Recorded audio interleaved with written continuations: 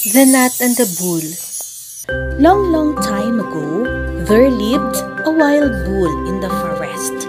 He used to do his daily chores, which helped him to raise his family. One day, while the bull was working in the fields, a little gnat flew over a meadow.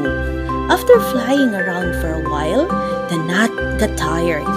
He settled on one of the horns of a bull. The bull did not even realize that something was actually on him. Soon in the evening, it was time for the bull to return home. As he shook his head, the gnat woke up. He tried to talk to the bull, but the bull could not hear the voice of such small creature.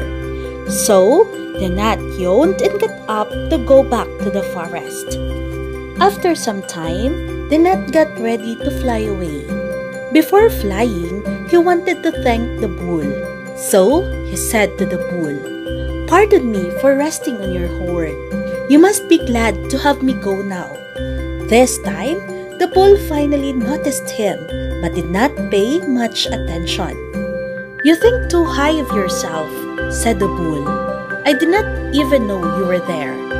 The bull was so busy working all throughout the day that he did not let his focus shift from the work. Oh, my apologies, said the gnat, and with a blink of an eye, the gnat flew away to the forest.